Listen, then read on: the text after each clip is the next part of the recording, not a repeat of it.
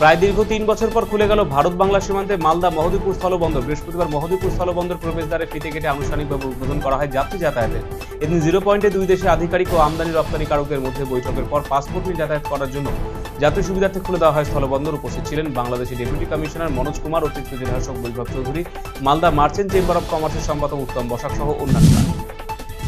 জেলা সভানেত্রীর বিরুদ্ধে তোলাবাজির অভিযোগ তুলে দলত্যাগ ব্লক সভানেত্রী। জেলা মহিলা তৃণমূল কংগ্রেসের দুই সভানেত্রী কাজিয়ায় পঞ্চায়েত নির্বাচনে প্রাককালে অস্বস্তিতে মালদা জেলা তৃণমূল কংগ্রেস নেতৃত্ব। পঞ্চায়েত নির্বাচনে প্রার্থী দেওয়ার নাম করে বিভিন্ন মানুষের থেকে টাকা তুলতে হবে। এই মর্মে জেলা মহিলা তৃণমূল সভানেত্রী মৃণালিনী মণ্ডল মাইতি এমন নির্দেশ তাকে দিয়েছেন বলে অভিযোগ করেছেন পুরাতন মালদা ব্লকের মহিলা তৃণমূল সভানেত্রী রোজিনা খাতুন। এ বিষয়ে জেলা নেতৃত্বকে বারবার অভিযোগ করা হলেও কোনো পদক্ষেপ গ্রহণ করা হয়নি বলে অভিযোগ করেছেন তিনি। অন্যদিকে এই ঘটনা অস্বীকার করেছেন জেলা সভানেত্রী মৃণালিনী মণ্ডল মাইতি। পরীক্ষায় নকল করতে বাধা দেওয়া স্কুলের প্রধান শিক্ষককে নিগ্রহের অভিযোগ উঠল পরীক্ষার্থীদের একাংশের বিরুদ্ধে। এমনকি পরীক্ষার্থীরা শ্রেণীকক্ষে চেয়ার টেবিলও ভাঙচুর করে বলে অভিযোগ। বৃহস্পতিবার এই ঘটনায় ঘিরে তুমুল উত্তেজনা ছড়িয়ে পড়ে মালদার মোথাবাড়ি থানা রথবাড়ি হাইস্কুল চত্বরে। এদিন ছিল উচ্চ মাধ্যমিকের দ্বিতীয় দিনে ইংরেজি পরীক্ষা রথবাড়ি হাইস্কুলে বাঙ্গিটোলা হাইস্কুলে উচ্চ মাধ্যমিক পরীক্ষার্থীদের শীত পড়ে। এদিন পরীক্ষা কেন্দ্রে কয়েকজন পরীক্ষার্থী নকল এবং একজন মোবাইল নিয়ে প্রবেশ করে।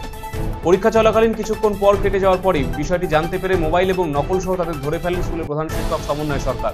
যদিও সেই ঘটনায় স্কুলের দায়িত্বে থাকা সিভিক ভলেন্টিয়ার এবং পুলিশ কর্মীরা পরিস্থিতি সামাল দেওয়ার চেষ্টা করে। পরে ঘটনা খবর পেয়ে স্কুলে পৌঁছায় মোথাবাড়ি থানা বিশাল পুলিশ বাহিনী।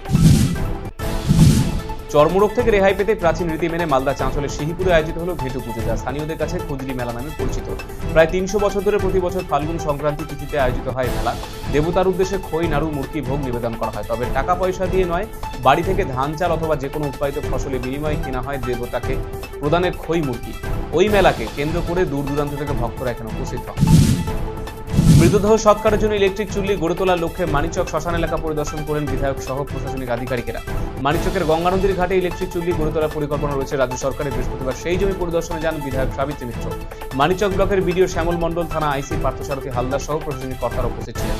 জমি খতিয়ে দেখে উত্তরবঙ্গ উন্নয়ন দপ্তরের মন্ত্রীর সাথে কথা বলে দ্রুত কাজ শুরু করা হবে বলে জানিয়েছেন বিধায়ক সাবিত্রী মিত্র।